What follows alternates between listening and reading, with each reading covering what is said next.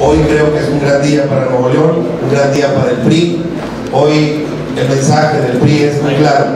Vamos a debatir nuestras propuestas, vamos a trabajar con nuestras comisiones, porque en el PRI la apertura será siempre y hoy se está dando y es una realidad. Los tiempos han cambiado y el discurso que se dice se tiene que llevar a la práctica. Se tienen que eliminar fronteras, tenemos que compartir experiencias. ¿Cómo lo vives tú? ¿Cómo lo vivo yo? Y qué buenas prácticas o malas podemos hacerlas notar para que se replique de una mejor manera en otras partes de la República.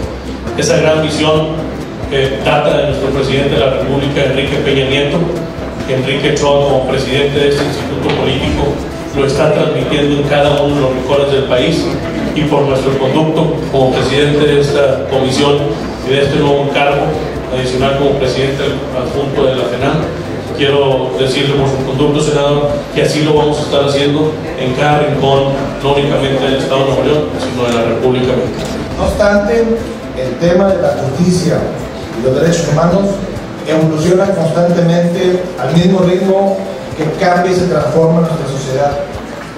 Por ese motivo, el PRI no se desentiende de estos temas torales y ha integrado esta comisión de trabajo en la que nos dedicaremos a consultar a los distinguidos periodistas del país, a los especialistas en la materia, con el propósito de robustecer la justicia social en México a través de una agenda que atienda la necesidad de consolidar la cultura de la legalidad y un sistema jurídico que garantice a todos los mexicanos, sin excepción, un real Estado de Derecho y una adecuada protección de los derechos humanos.